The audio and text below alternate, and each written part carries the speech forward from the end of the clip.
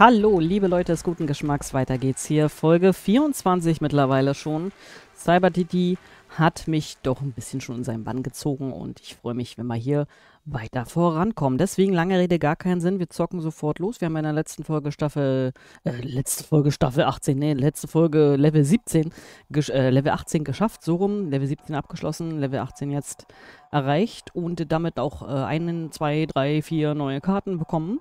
Und eine davon ist ja nun in unserem Deck, sodass unser Blaster dann hoffentlich 30% mehr Schaden zwischendurch mal erhält. Mal schauen, ob wir die auch kriegen. Ich bin sehr gespannt. Wir werden gleich zum Anfang mal die Geschwindigkeit der Waffen erhöhen. Und dann schicken wir wieder... Genau, Viking los, damit der Electron Summit. Ja, aller Anfang ist noch ein bisschen langsam. Aber da... Hier! Erhöht den Schaden aller Raketenwerfer um 30%. Das ist ja fast die, die wir wollten. Nee, wir wollten natürlich eigentlich unsere... Ja, unsere Blaster damit hinkriegen. Wir werden aber trotzdem den äh, Schaden aller Raketenwerfer um 30% erhöhen. One-Shot ist ja natürlich noch mit drin. Und... Naja, zurück und bereit für die nächste Aufgabe. Hast aber nicht viel Elektrons gesammelt, muss ich ja sagen, mein Freund. Wir werden... Alle Raketen verursachen einen EMP-Effekt beim Einschlag, der alle Fähigkeiten bei nahen Gegnern deaktiviert. Die nehmen wir mal, die EMP-Rakete. Ich kann zwar noch nicht wirklich sagen, was sie macht, was es hilft. Mal schauen. Als nächstes werden wir... Ist ja nichts hier. Wir haben ja gar keinen Korrosion-Status-Effekt. Na gut, aber den Schaden erhöhen wir mal, wenn wir einen kriegen. Das ist ja eine jetzt doofe Karte, muss ich ja ganz ehrlich sagen. Ich ja noch nie gehabt, dass sie so doof sind. Ganz schön viele Gegner hier. Ich wollte gerade sagen, irgendwann müssten wir mal hier unsere Reichweite erhöhen. Da hoffe ich, dass wir da jetzt mal was kriegen für die Reichweitenerhöhung. Erhöht den Schaden aller Blaster. Blaster schießen ihr erstes Ziel und treffen auch noch eins dahinter. Geschwindigkeit aller Blaster um 15.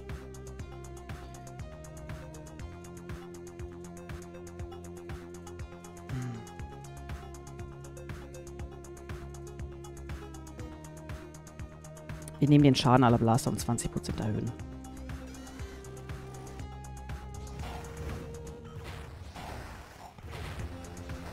Ja, war ganz gut. Aber Reichweite bräuchten wir mal langsam. Das macht mir Sorgen, dass wir bis jetzt noch keine Reichweite bekommen haben. Erhöht die Reichweite aller Blaster um 25%. Nehmen wir. Wenn ich auch gerne Reichweite für alle gehabt hätte. Aber wir wollen jetzt mal nicht so sein.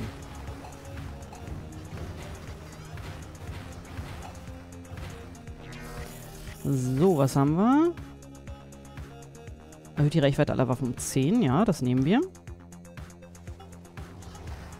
Reichweite unseres Blasters, Reichweite unserer Raketenwerfer. Also wir sehen ein bisschen, was hat sich getan, aber echt wenig Karten für Reichweite bis jetzt.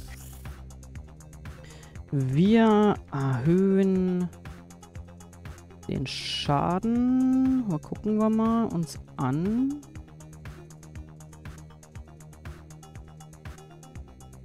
Wir erhöhen mal den Schaden erstmal. Von unserem Blaster. Ja, zwei Schuss, dann sind die weg. Das ist ein guter Durchschnitt, finde ich.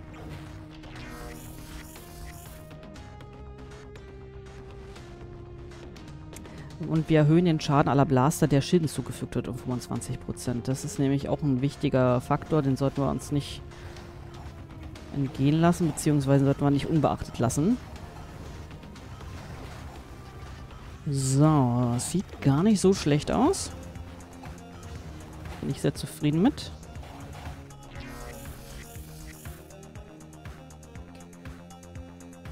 Hm.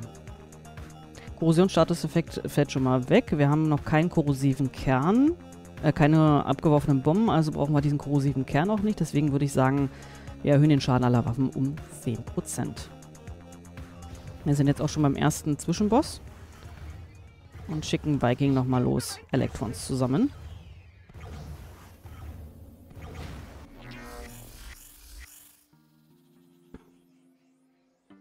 Wir erhöhen nochmal den Schaden aller Blaster, der Schilden zugefügt wird, um 25%. Wie gesagt, das mit den Schilden sollten wir nicht außer Acht lassen. Es kann sein, dass uns das äh, später wirklich noch, noch mal rettet. Weil die Schilde, die sind schon echt böse. So, Raketenkernauswurf. Alle Raketen lassen Bomben fallen. Das nehmen wir.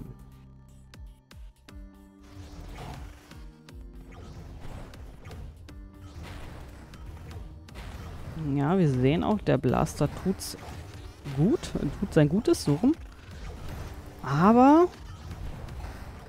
Geschwindigkeit ist mir echt noch zu langsam. Wir müssten mehr Geschwindigkeit mit reinbringen. Also. Geschwindigkeit aller Raketenwerfer, Schaden aller Blaster.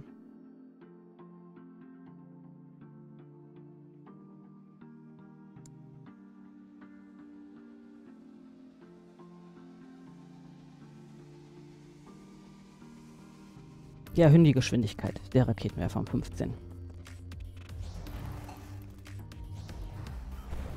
Wie sieht es mittlerweile mit den Raketenwerfer aus? Wie viel? Ja, der macht immer noch einen One-Shot. Das ist okay. Der Blaster zieht auch gut hier. Damit kann ich leben. Wir... Reichweite ist eigentlich in Ordnung. Dann werden wir nochmal den Schaden aller Blaster, der Schienen zugefügt wird, um 25% erhöhen. Ja. Sieht gut aus. Und ich habe das Gefühl, das macht sich wirklich bemerkbar, weil ich denke, das hier sind die Schilde drumherum. Fügt jeder Rakete eine Lasererweiterung hinzu, die jedem Gegner, den sie trifft, Schaden zufügt.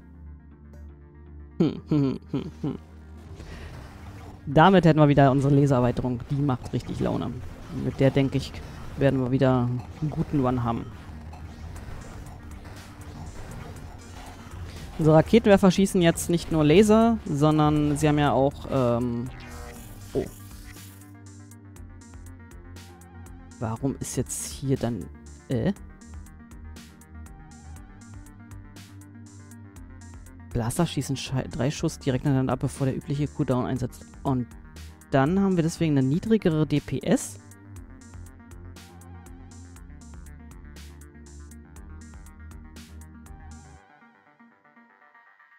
Und niedrigeren Damage? Ist das denn jetzt ein Bug da drin? Habe ich ja noch nie gesehen, dass es dann rot wird. Wir nehmen trotzdem.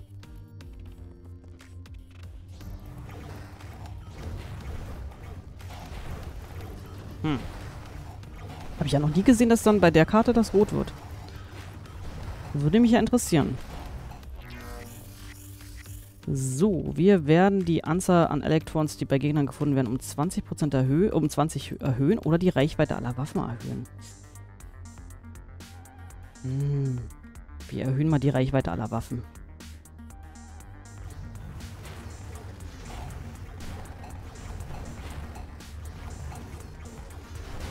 Ansonsten sieht es echt top hier aus. Bin ich super zufrieden.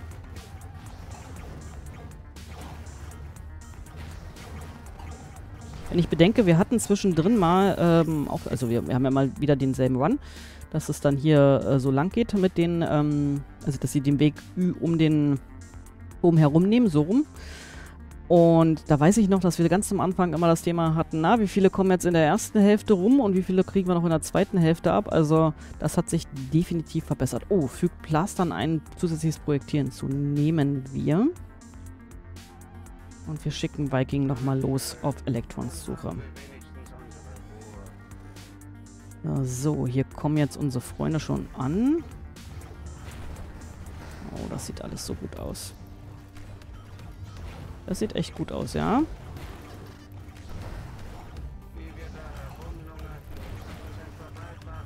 Müssen wir uns keine Sorgen machen. Wenn wir jetzt noch Schaden und Geschwindigkeit erhöhen, sehe ich uns da recht gut vorankommen. Reichweite erhöhen. Reichweite aller Blaster um 15. Wir erhöhen die Reichweite aller Waffen um 20%. Und jetzt haben wir schon die ersten großen Gegner. Mal schauen. Die haben zwar einen recht langen Weg. Aber... Muss ich was machen? Ich will nichts machen. Ich will meine volle Integrität noch behalten. Ne, wir müssen nichts machen. Das sieht alles noch sehr gut aus. Können wir so lassen. Sehr schön. So, wir erhöhen die Geschwindigkeit der Raketenwerfer. Schnellerer Raketenwerfer ist immer gut. Und damit kommt jetzt auch schon der zweite Zwischengegner. Wir sind jetzt bei Welle 20.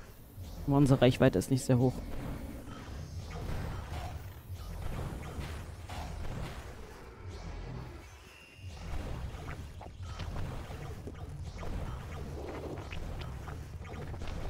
Hier werden jetzt welche durchkommen. Ich glaube, die werden wir nicht erreichen. Den hier hinten. Nee, den erreichen wir nicht. Die fliegen nicht durch. Also gehen wir... Ach, das erste Mal wirklich seit langem, dass wir wieder hier Integrität verloren, äh, verlieren in diesem Level. Wir erhöhen den Schaden aller Waffen oder die Reichweite nochmal. Die Reich... Ich würde die Reichweite nochmal nehmen. Reichweite aller Blaster um 15% erhöhen. Von wo kommen sie? Von hier?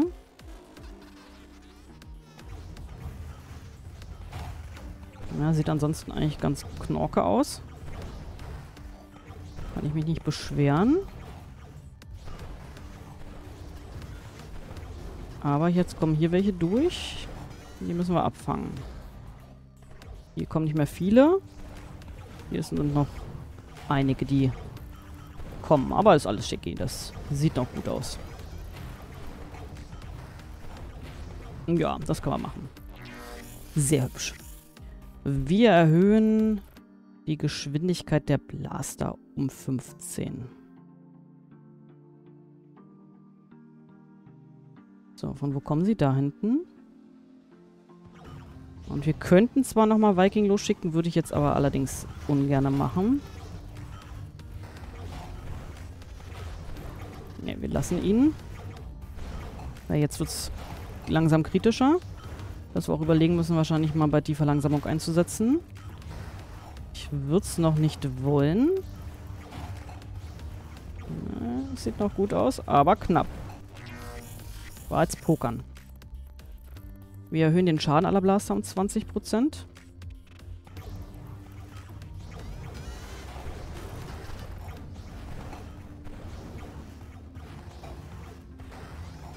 Ja, setzen mal Viking ein. Und hoffen, verlangsamen müssen wir wahrscheinlich nicht, nein. Das sieht noch ganz gut aus.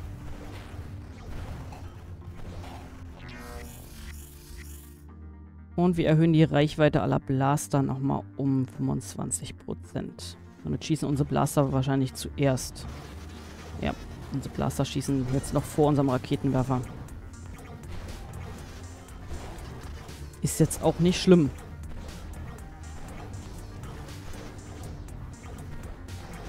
Aber unsere Blaster sind momentan das, was noch hinderlich ist. Da müssen wir auf jeden Fall noch dran arbeiten. Brauchen mehr Schaden.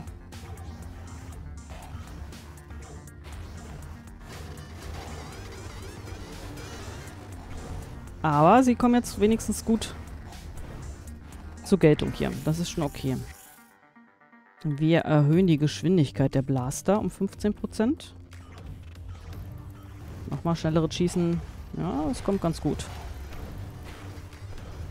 Projektile sind auch echt viele jetzt hier unterwegs.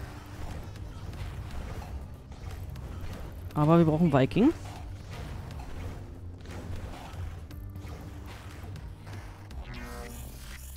Und wir erhöhen nochmal den Schaden aller Blaster um 30%. Das ist super. Da war die Karte, die wir jetzt in der letzten Folge freigeschaltet haben.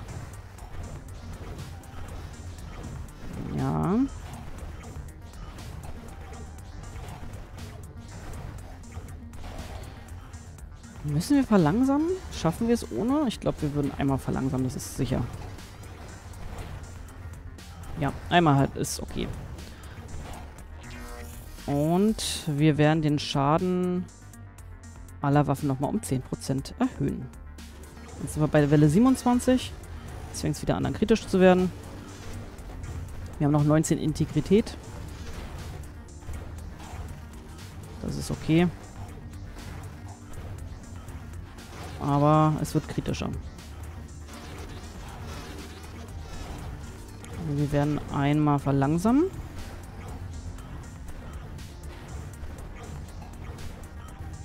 Dann müssen wir nochmal oder schaffen wir es so? Ich bin mutig, ich werde nicht nochmal verlangsamen. Sehr schön, schaffen wir so. Dann erhöhen wir nochmal den Schaden der Blaster um 20%.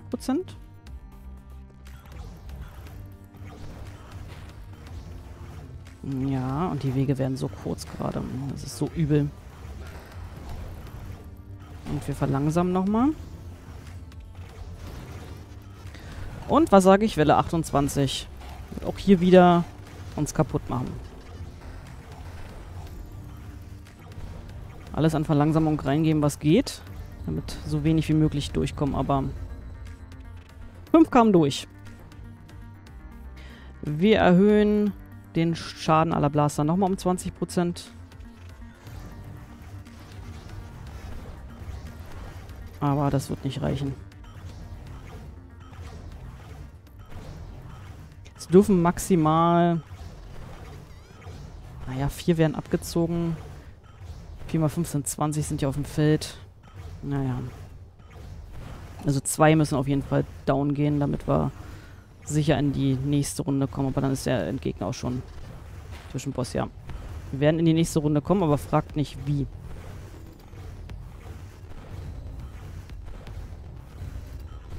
Hm, zwei Integrität gehen wir rein. Wir erhöhen die Reichweite aller Raketenwerfer um 15. Ach, du heiliger Strudel, was ist das denn?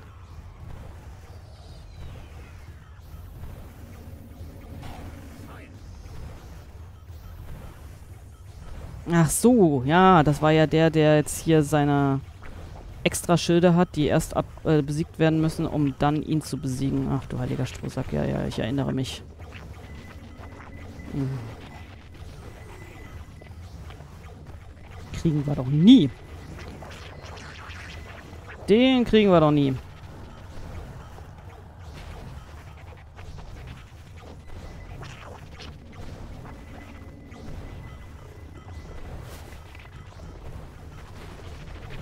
Ja.